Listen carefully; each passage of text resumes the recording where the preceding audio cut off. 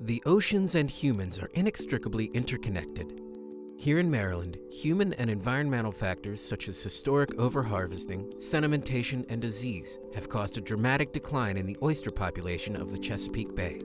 Youth are a strong voice for environmental change, and through programs at the National Aquarium, they are making a difference. In the Aquarium on Wheels work study program, high school students from Baltimore meet after school to learn about the aquatic environment.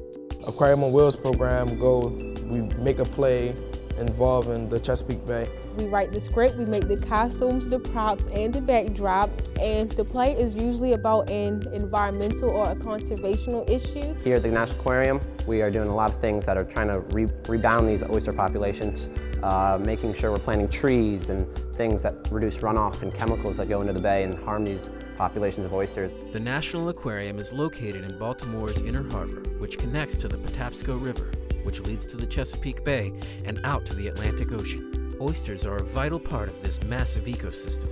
As oysters feed, they pull in water which may contain sediment. The sediment is trapped in mucus by the oyster and deposited at the bottom of the bay, removing the sediment from the water column. The result is clearer and healthier waterways. Because they are part of the food chain, we need to protect them in order to keep the food chain going. They are the base of a history of economy here in Baltimore, and it's, it's unthinkable of how life would have existed here 100 years ago if we didn't have oysters. The students will visit the Phillips Wharf Education Center on Tilghman Island, which is investigating oyster diseases. There, they will learn more about the effects of oyster diseases and help grow our local oyster population by collecting seed oysters from oyster gardening sites, measuring and counting the young oysters, and placing them in the bay in oyster restoration sites. Baby oysters, if they don't have a hard surface to land on, they'll die. So helping to create hard surfaces at the bottom of the ocean can help oysters to live longer.